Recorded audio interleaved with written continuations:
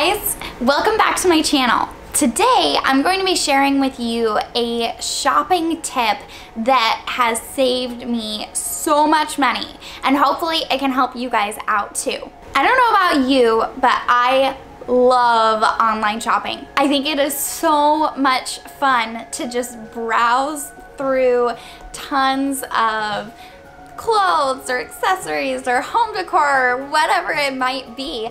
I just love going through pages and pages of stuff. I don't even have to buy anything. I just think it's really fun to go through and like pick out my favorites and add them to my cart. Something that's really helped me with my online shopping addiction and not letting it transfer into too much spending is this little tip.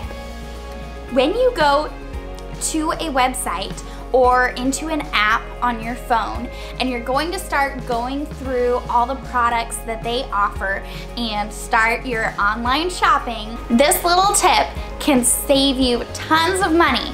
On most websites, you'll see a little pull down on the upper right or maybe upper left corner that lets you sort the items that you're going to be looking through. There's usually options like sorting the newest arrivals first or maybe sorting due to popularity, what is purchased the most. The thing that I always do is sort lowest to highest priced items.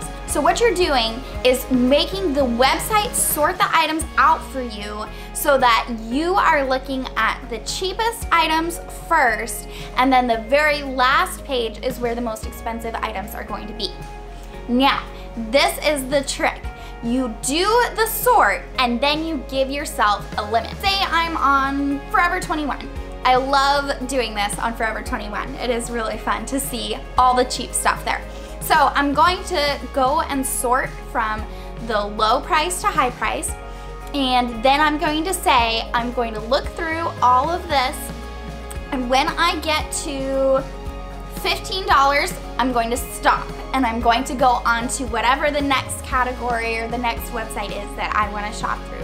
So you know that you're not even going to see anything, any of these blouses that are more than $15. So you're going to shop within your price range only. You're never going to get addicted or sucked into a certain piece of clothing that you can't afford or that you know maybe you shouldn't afford. And it's really fun to just see all of the really nice stuff that you can get for super cheap. I especially love using this on my phone in apps.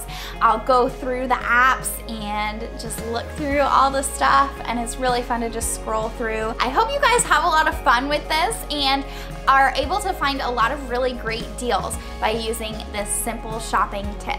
I wish you could use this in store. Like, why can't you walk into the store and be like, oh, excuse me, I'm only going to pay $20 today, so can you bring all of the $20 and under items up to the front? that would be bomb. I would totally go for that. Unfortunately, this only works online. I hope you guys enjoyed this video and I hope you guys get to have fun using this tip and finding those sweet awesome deals out there.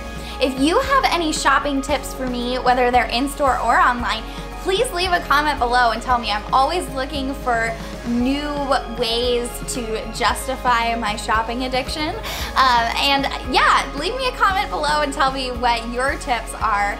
And make sure you're subscribed so you can see more videos like this in the future. Thanks so much for watching. I'll see you guys tomorrow.